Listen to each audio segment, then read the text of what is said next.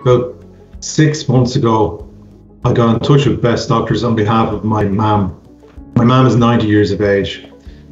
We went through my mum's medical history and her medication, and following that extensive consultation, the consultant in London suggested that my mum try an alternative medication.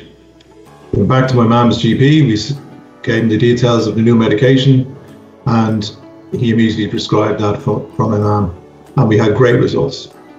Uh, not only that, the consultant in London called me every Friday for about six weeks, checking up on how my mum was doing, how the medication uh, was working, and it was a fantastic experience.